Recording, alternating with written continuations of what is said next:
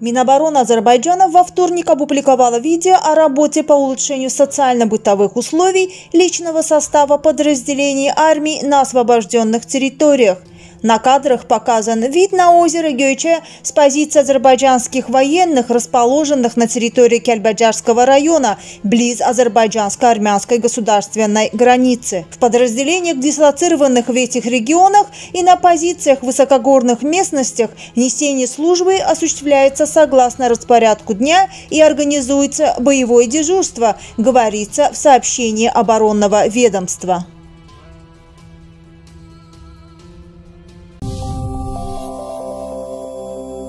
Dağların ətirli çiçəklərinin təravətini özündə cəmləyən təbii arı balını sizə təklif edirik. Təbiətin insanlara bəxş etdiyi bu möcüzəvi məhsulu əldə etmək üçün ekranda gördüyünüz nömrə ilə əlaqə saxlamağınız kifayətdir.